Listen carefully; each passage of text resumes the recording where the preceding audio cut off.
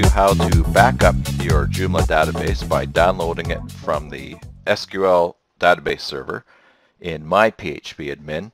That will also give you a file that you can upload to a different uh, database server uh, through myphpadmin. At least I'll show you how to do it using my myphpadmin. Uh, the company that my sites are hosted with, uh, islandnet.com, has a new SQL server and the Joomla sites are running much faster running on that new one. And so here's what's needed to uh, transfer those databases. The first step, of course, is to get a copy of your existing database so that you can move it over to the new database that you've created for it. Here I am in the IslandNet control panel. Uh, and uh, the tool that we want uh, that we're going to do this with is uh, that uh, tool called myphpadmin. And on IslandNet, you get to it in the control panel. Uh, you're, if you're not hosting with IslandNet, you probably will have a control panel that you can go to and uh, access uh, myphpadmin. Uh, now, some web hosts actually charge more to use all of the features, and as you can see on IslandNet, the, all accounts get the exact same access to all the tools and have unlimited databases. So there's two ways on IslandNet that I can get to this database uh, tool. There's myphpadmin 3 for mysql5.x. Now that's actually where the old database is. But you can also get to it through a database manager. Uh, and this is in Control Panel, MySQL Manager, or you can actually go Control Panel, Domain uh, Database Management, and MySQL Manager. But we'll do it here through that button.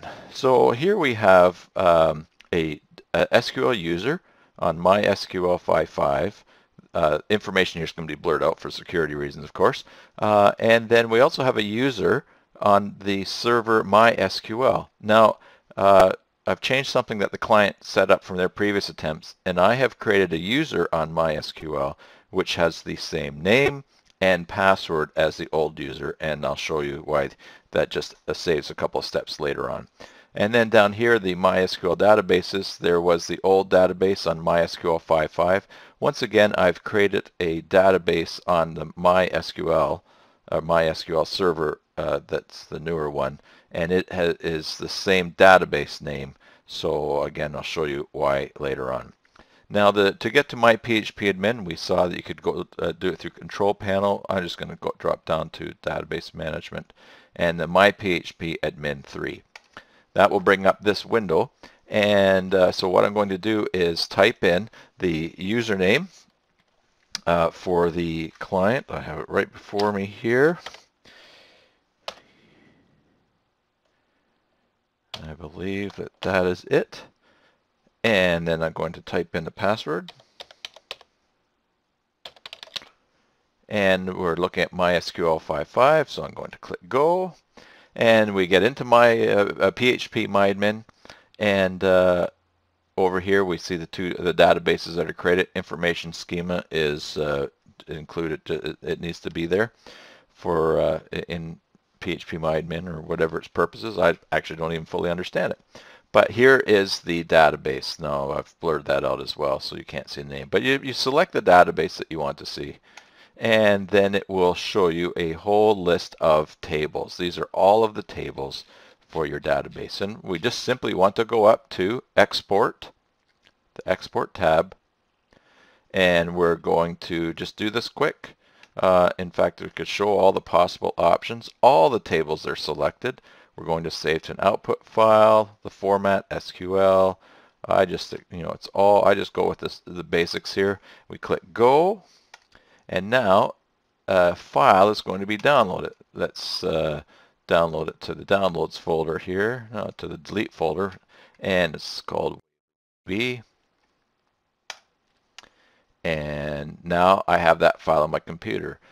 Now what I want to do is import that file I've just downloaded into the new database. And to do that I use the import tab, but I, first of all I need to log out of myphpadmin and now I need to go and log in to uh, uh, phpMyAdmin and uh, on the other servers. Uh, so first of all, let me put in the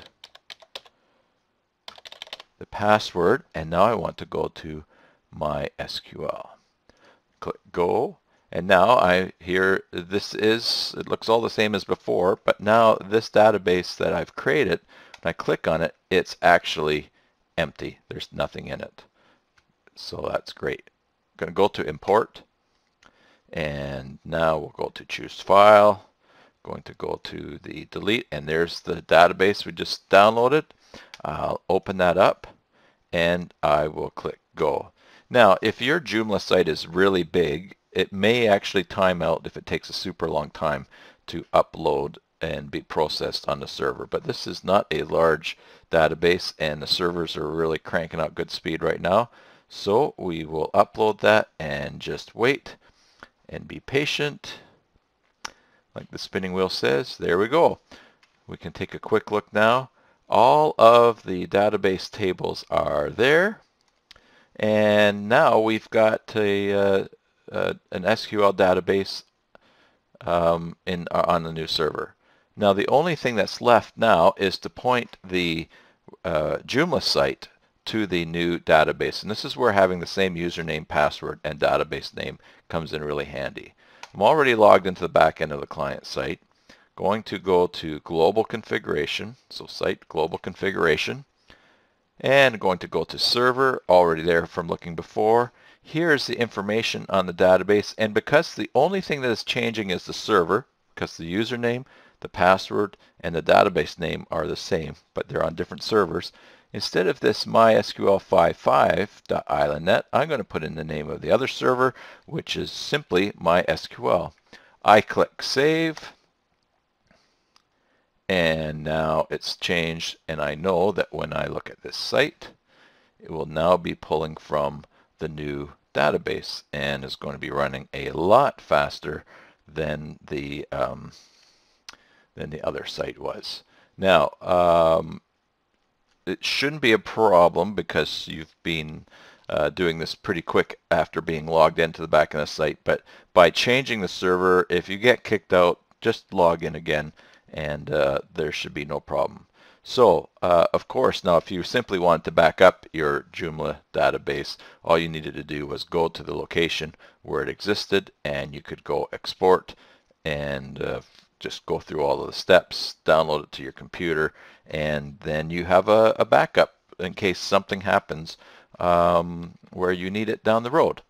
So there you go. That's how to uh, use uh, PHP MyAdmin to download your Joomla database so you can back it up somewhere safe and also how to uh, transfer it to a different MySQL server, whether on the same host or if you are transferring hosts. And of course, if you're looking for a good speedy host that runs Joomla sites quickly, uh, contact me. I resell with uh, uh, uh web hosting and uh, you could be on the same server that all my sites are blazing fast on.